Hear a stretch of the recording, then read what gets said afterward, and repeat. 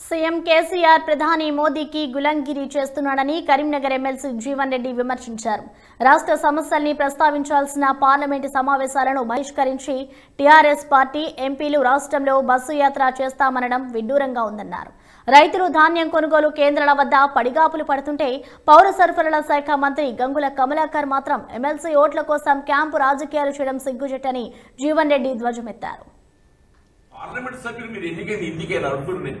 కేసీఆర్ గారు ఏదైతున్నదో ఇంటికేనా నేను వాళ్ళు రైతు సమస్యల మీద రైతాంగాన్ని నట్టేయడం ఉంచుతున్నాం ఇప్పుడు సింగరేణి యాజమాన్యం ఏమనంటే కేంద్రం నాకు సహకరిస్తలేదు. వాస్తవం నీ కేంద్రం సహకరిస్తలేదు అంటూ మేము కూడా అంటున్నాం మేము మరి అటువంటి నువ్వు ఎందుకు మద్దతు చెప్తున్నావు నువ్వు? కేంద్రం సహకరిస్తలేదు అని చెప్పి నువ్వే అంటున్నావు. తెలంగాణ హక్కులను కాలరాస్తుందని చెప్పి నువ్వే అంటున్నావు. వాడు అడిగినా అడగకుండా నువ్వు ఆయనకి ఎందుకు మద్దతు తెలుపుతున్నావే మరి గడిచిన ఏడు సంవత్సరాలలో ఎన్డీఏ ప్రభుత్వం ఏదైతే పార్లమెంట్లో చెప్పే ప్రతి అంశం మీద టిఆర్ఎస్ మద్దతు తెలిపింది. గత రాష్ట్రపతి ఎన్నికల మద్దతు తెలిపింది. ఉపరాష్ట్రపతి ఎన్నికల మద్దతు తెలిపింది. లోక్సభ స్పీకర్ ఎన్నికల మద్దతు తెలిపింది. చివరికి మోడీ గారు